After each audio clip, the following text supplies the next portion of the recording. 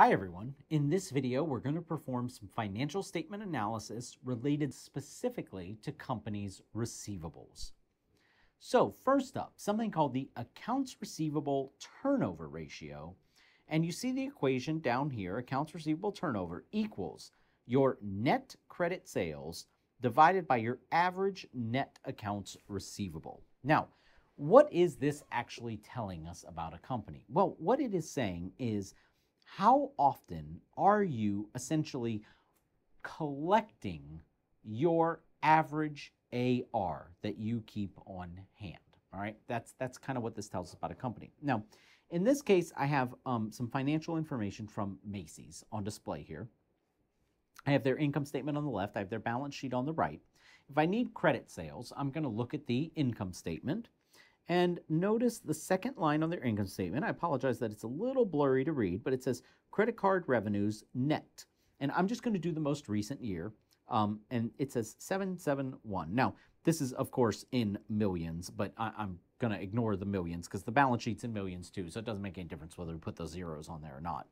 So in the case of Macy's, their ART, their accounts receivable turnover, is going to be 771. It's already a net number for us, over we need average net AR. So I go to the balance sheet, and the second line under the current assets is receivables.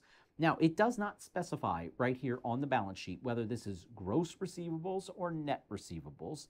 However, I am going to take it at face value that this is probably net. If I went and looked in Macy's notes to the financials, I'm sure there is a section in the notes that says accounts receivable, and it will specify that what is on the balance sheet is net, and it will provide information there on what the gross is, what the allowance for doubtful accounts was. It'll give you all the details in the note.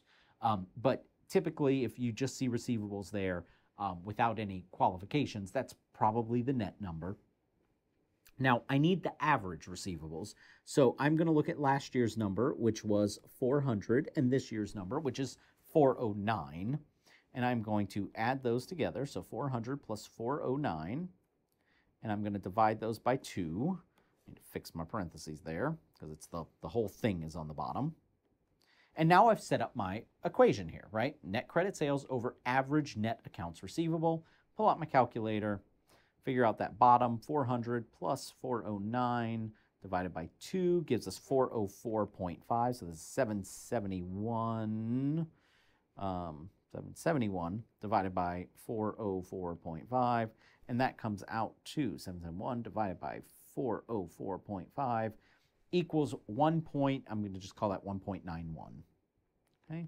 Now, again, wh what is this telling us about Macy's? Well, what this is really saying is Macy's, on average, collects its, its average receivable balance approximately twice per year, 1.9 times per year. So all those credit sales end up making your account receivables go up.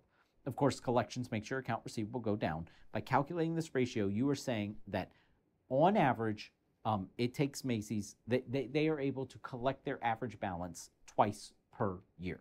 Okay? Now, the next one up, average collection period. Average collection period is actually derived from the accounts receivable turnover ratio. And you notice the formula down here. It's just 365, or the number of days in a year, divided by the accounts receivable turnover. And so if we calculate that for Macy's, remember 365, we already figured out accounts receivable turnover 1.91. Pull out my calculator, it'll be somewhere around 180 to 190, right? 365 divided by 1.91. Uh, looks like 190, I'm just around that to 191. What this is telling us is on average, it takes 191 days to collect the average balance in the AR account. And of course, that goes hand in hand with the turnover ratio, right? If you take 191 days to collect, then obviously you're only collecting about two times per year, okay? Um, this helps companies establish what is the liquidity in their receivables, right? Receivables should be pretty liquid. You should be able to convert them to cash um, um, pretty quickly. And so, in the case of Macy's here, just on the surface, I would almost argue that um, taking half a year to collect your receivables uh, That seems a little long, just objectively speaking. Now, how could we check whether or not this is really good or bad? Well, we'd have to compare Macy's to other similar retailers and see how long is it taking them compared to the industry average? How long is it taking the industry average? Or even calculate this same ratio for Macy's last year or the year before. Is it getting better or worse for Macy's? Um, you want your collection period to be low, right? 191 days seems awfully long. So you'd like to see this number go down.